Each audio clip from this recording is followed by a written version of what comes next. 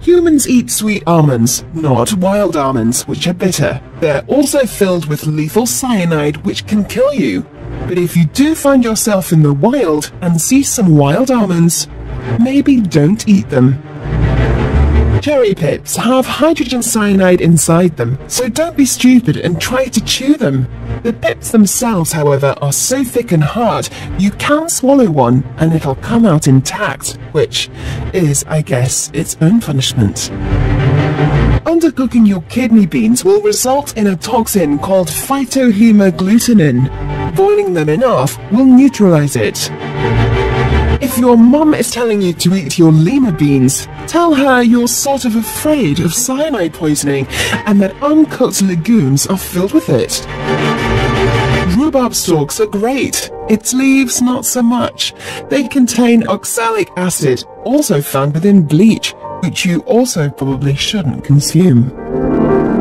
If you ever see a green potato, don't eat it. They're loaded with solanine, a poison that will initially make you puke. Keep eating it and it'll eventually cause a cardiac arrest. There are a myriad of unhealthy components to margarine and other butter imposters, such as hexane, an industrial chemical that can have toxic effects. Several preservatives of questionable safety are also added to margarines. Used as medicinal tea and also found in wine, elderberries are pretty much everywhere. Eat them when they're completely ripe and consume no other part of the plant, as it contains the deadly toxin cyanogenic glycoside. Unripe tomatoes, its leaves and stems contain small amounts of the poison alkaloid tomatine, as well as solanine, the same toxin found in potato leaves.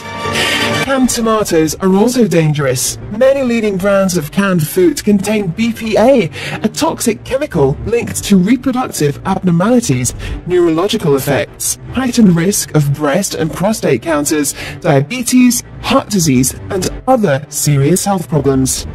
A couple of servings of canned food can exceed the safety limits for daily BPA exposure for children. Apple seeds, also called pips, have a sugar cyanide structure called amygdalin, which turns into deadly hydrogen cyanide. It only takes 100 to 200 milligrams of cyanide to kill an adult within minutes. Naturally, it'd take far less to kill a child. Don't worry if you swallowed a couple of seeds though, your body can handle very small amounts of cyanide, but don't keep doing it. And never chew the seeds, as this releases the cyanide into your bloodstream directly. If you don't chew them, most seeds would pass out of the body whole.